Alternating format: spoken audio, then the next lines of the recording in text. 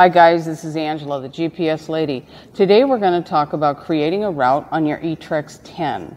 So I'm going to use a toggle button and I'm going to move us down to create to your route planner. Then I'm going to press enter. Ask me to create a route. Hit enter again. Now I want to select my very first waypoint. So I'm going to hit enter. And I can use the map, I can use recent points, cities, or waypoints. I'm going to use waypoints because I've already predefined five waypoints that I want to use for this. So let's go down and select the first one. That's going to be test one.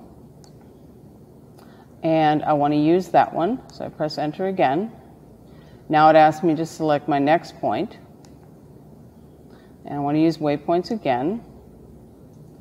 So let's go down and select test two. I want to use that one. Now, let's get the third one. Again, we're going to go into waypoints. Now I'm going to go down and find my third one. I want to use that. Then I want to select my next one. Again, it's going to be waypoints.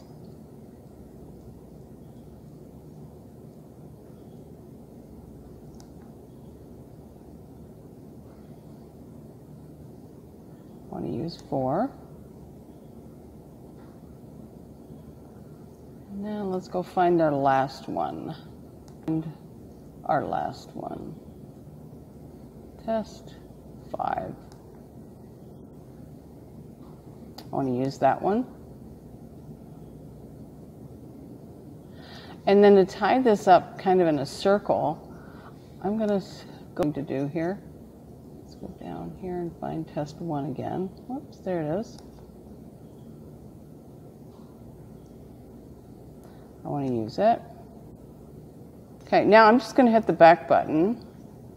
And now my route 001 is created. So I want to see what it looks like, and it's highlighted right now. So I'm just going to hit enter, and you see it's calculating. I can either edit the route in this point, I can view it, I can reverse the route, I can change the name, or I can delete it. I just want to view it, and I want to show you what this looks like. So I highlight view map, I hit enter.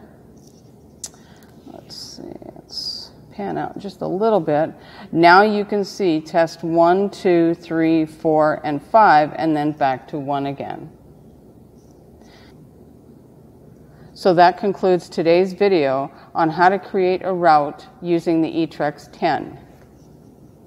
Thank you and happy exploring.